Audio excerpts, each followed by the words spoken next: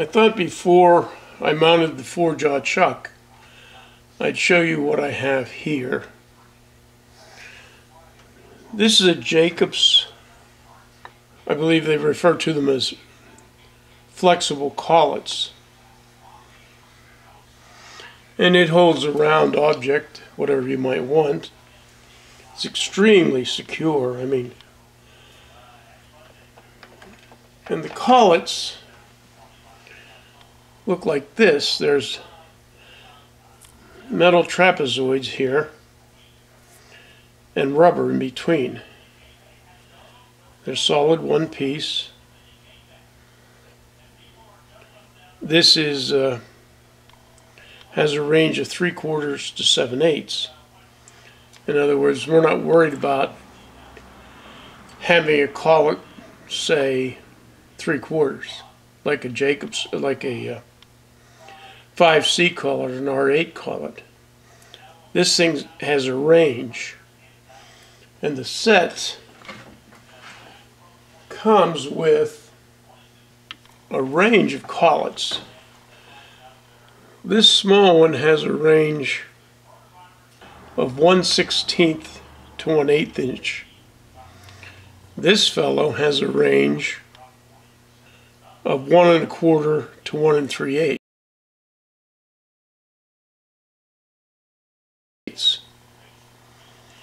So with a set of these, and I got a set,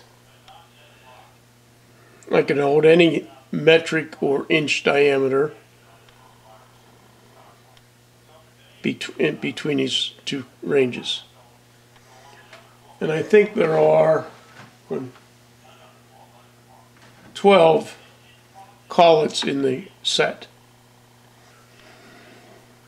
This is a 5C collet. It tightens by having threads at the rear. Now there's external and internal threads. It's pulled in to a collet tightening from the rear. This is an R8 collet, the same deal. It's threaded on the inside and it draws into a tapered chuck. Both of these tighten from behind. The rubber flexed collets taper or are drawn in by pressure on the face of the collet. This is a locking ring. This is a hammer.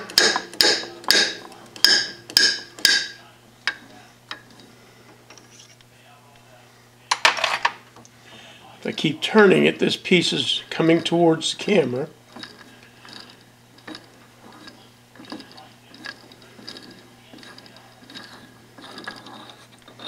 And the collet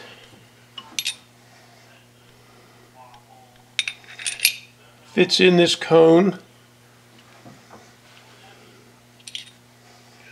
and is tightened by this.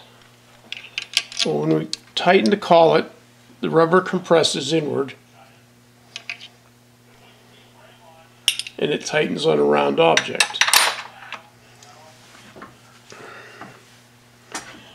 Now the spindle of this nose is equipped with a adapter.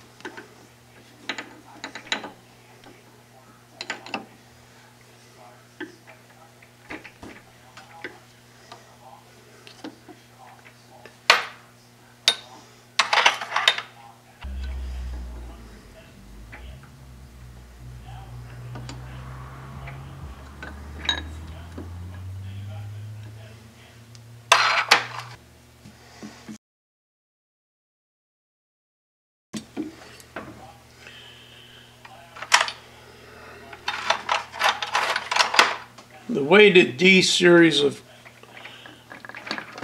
spindle attachments work is there's three, in this case 5 8 pins that fit in to holes, three of them. Doesn't tighten to the face of this. It tightens to this male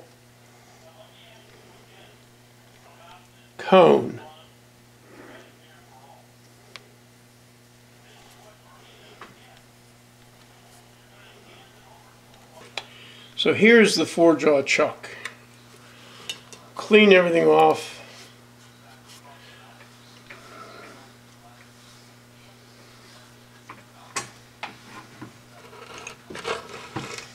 All I do then is stick these three pins in these three holes and then there's cams on the side internally of course that pull the chuck tight into the face of the spindle.